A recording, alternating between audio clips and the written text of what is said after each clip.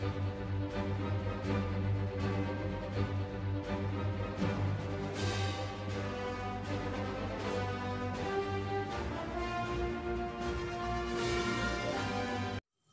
up sa inyo, mga katoto?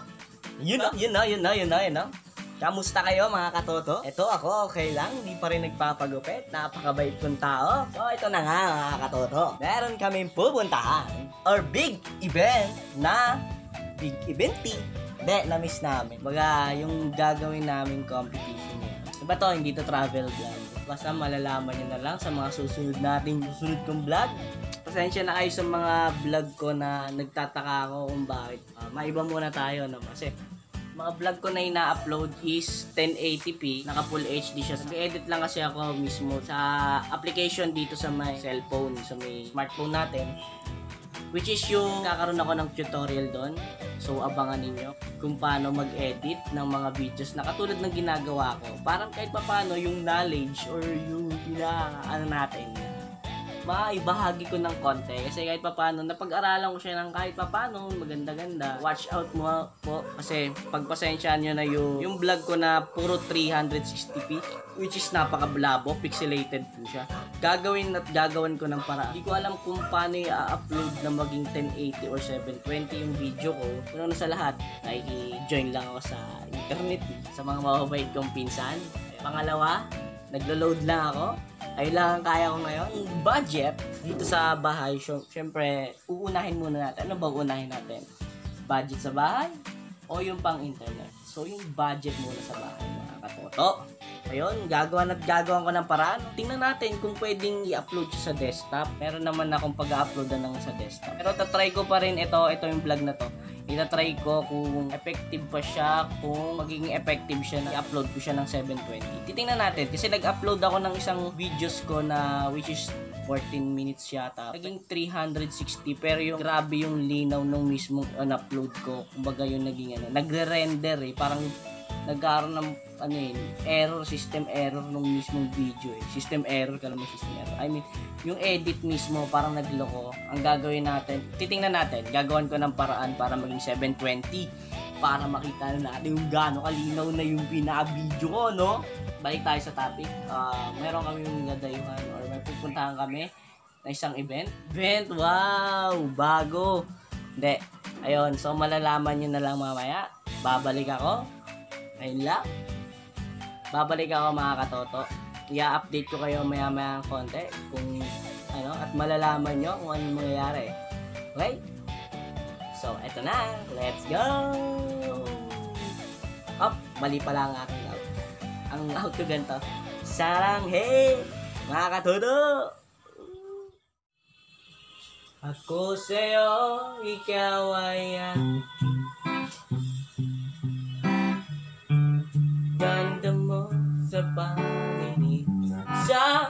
Ilalim ng puting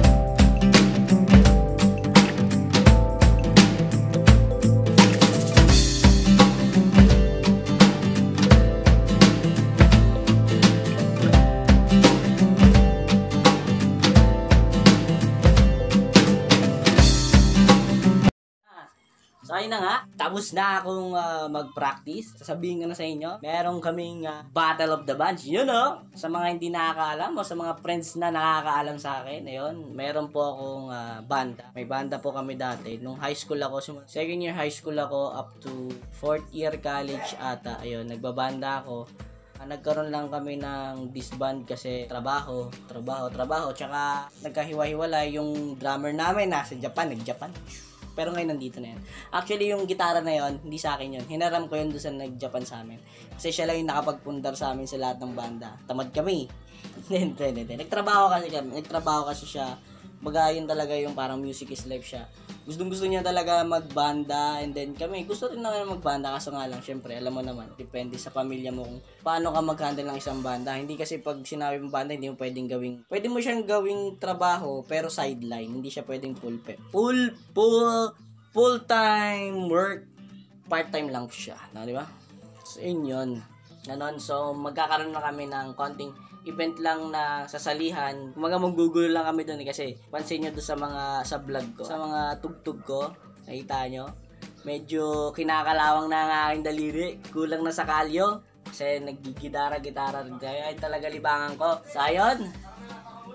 Sana yung event na yon ay masalihan namin soon at iba-vlog ko.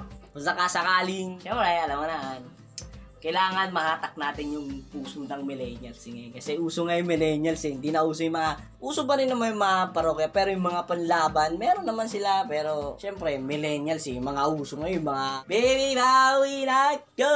Yung mga ganon. Na joke lang. Hindi namin kaya tugtugin yun. Ayun, so, ayun lang guys. Sana nag-enjoy kayo, na-update nyo kayo, na nag-iisa lang din sa may bahay. Pagpasensyaan nyo na, wala akong update kasi, wala akong content. Wala. Bago nga pala to. Bago lang tong cellphone ko. Wala pa isang buwan. Mag isang buwan pa lang. Yun. Mas malaki na yung memory niya sa loob. Internal. So makapag-vlog na ako ng marami, marami, marami, marami, marami, marami, marami. Makapag-imbag na ako. At bibigyan sana ako ng kasipagan mag-edit. Mahirap kasi mag-edit dito pagdating sa cellphone napaka-komplikado. Napakahirap-hirap kaya na mag-edit dito sa cellphone. Pero siyempre gagawin natin ng paraan para makapag-update ako sa inyo, makapag-vlog. Kasi mga siguro 3 weeks or 2 weeks na ako hindi nag-upload, no? Mo travel vlogs yan, sa may bit-bit pa eh, di ba? Yan, solo, solo. Travel vlogs yun. Pero ito, hindi. House vlogs lang to. Tatawagin itong house vlog. Kasi madalas ako sa bahay. Dito ako. Kahit napakainit. Dilalagis na ako. Lagis. Hindi pa kasi ako naliligo. So, yun lang nga. Todo! Wala na ako. Wala na akong content na maisip. Kaya, next content ko, ano, siguro yung edit edit dito sa KineMaster. May, ah nga pala, speaking. KineMaster po yung ginagamit ko para po sa editing. Yung Power Director po kasi, okay naman yung Power Director. Ang problema nga lang, hindi siya, unlike, uh, parang maganda siya eh. Ang problema, parang hindi ko pa siya ganong, pa, pero sabi nila mas maganda daw yung Power Director eh. Yun. Maganda daw yung Power Director. Pero titingnan natin, titingnan natin kung paano diskarte. No? Kasi actually, una kong talagang ginamit is yung Power Director. Nung hindi pa ako nagba-vlog noon, hindi pa ako nag-ano sa may mga videos ko na yan. Yung nakikita, yung mga lahat yun, lahat yun, yung 8 videos na yun. 8 videos ba? Parang 6 or 8 videos ko na yun. Lahat yun, KineMaster na. Okay? Hindi ko siya ginamit yung Power Director. Titingnan ko kung ano yung comparison or yung pagkakaiba or yung kung ano yung ano yung ano ng, ng KineMaster yung anong tawag doon yung ahead niya sa isang application or yung ahead ng KineMaster dito sa itong ginagamit ko ngayon. Titingnan natin, uh, vlog ko yung KineMaster tutorial, yung mga basic editing po pag nagba-vlog. Gusto niyo mag-vlog, eh para sa kasakaling maisipan nyo kung paano mag-vlog, mag-edit ng vlog. So at least meron na idea. Step by step, bibi- gagawin ko ng paraan para maging easy or para mas maintindihan nyo yung pag-edit nyo doon sa KineMaster. Iisa-isay natin or kung mabot siya ng siguro matagal, okay lang. Pagtsatsagaan yung panoorin. Pero talaga i-assure ko sa inyo na detail by detail, ituturo ko sa inyo yung pag-edit doon sa KineMaster. Siguro yun naman yung kasusunod kong content. Kasi wala pa akong travel vlogs. Actually, ginancel ko yung travel vlogs ko sa Balagbag. Dito lang rin sa amin yun, bundok. Namumundok kami. Ayun, so, i-update ko kayo. Hanggang dito na lang mga katoto. See you on the next vlog.